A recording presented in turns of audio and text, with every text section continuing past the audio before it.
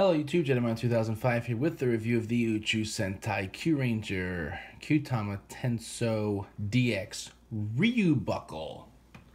That's right, Ryu Commander gets his own buckle because he's just that awesome. Um, it's a gold version of the Q buckle. Um, not a whole lot of difference really. So we see Ryu Commander there in his awesome purple glory. There's the uh, Ryu buckle, right? The name in English down here. Show logo, the Rashinban Kyutama that it comes with, right? Based on the constellation of Pyxis, the uh, the Mariner's Compass. Um, we have Kyutama Tenso DX Ryu buckle Kyutama series right there. On top, all 10 Kyurangers, as it were. Um, Ryu Commander, his buckle, and the Kyutama. And on this side, all 10 of them again. Commander front and center. On the back showing you, look, it's the same toy, just painted differently. Um, this is the Kyutama you get this time. Use it with the Seiza Blaster. Use it to with the Kurano, and you can see the secret picture on the back. And here's all 10 of them again, again with Commander in the middle, and all 10 of their smiling faces. And this time the ringed planet one goes to uh, Shou Ronpo. So, let's get it in here. It's the same basic belt straps before, as before, just instead of that gray color, it's in this like butterscotch yellow gold color, right? Um, we have a shiny uh, chromed out gold this time instead of a shiny chromed out silver. Um, we have this, it's like a, like a greenish, I guess, a greenish blue this time here. Um, same, same thing as before. Push this button and it pops open, right? I can stick Rashinban in there and it will pop out rather weightily. Um, nothing else spectacular about it, nothing else that it does. Just a buckle that, uh, that you can put on. This is the Rashinban Kyutama number 19. Uh, this is a little broken design.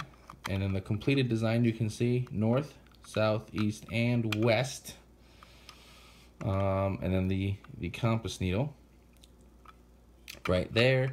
It is number B31.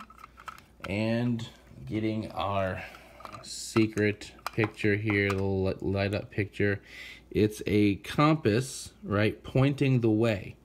There's an arrow up there at the top. Because what this Kyutama does is it shows the Kyurangers where to go to find the three Kyutama that will summon the Argo, right? They're, they set out on a quest, um, and this is um, the item that will point them to the other items on the quest.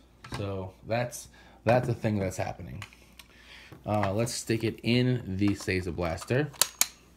It's not on. That's adorable. I thought I left it on. Try again. Rashinban. The change sound.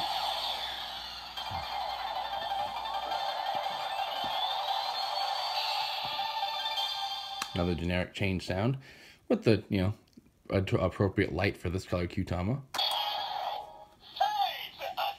Attack. And I guess that's it pointing you in the right direction.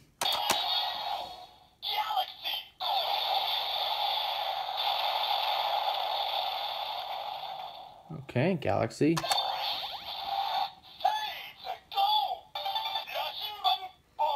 Shinban Voyager.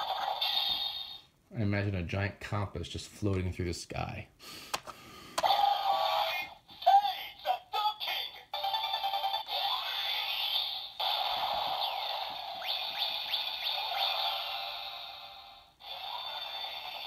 Right, so that's that's it. That's our Rashinban sounds.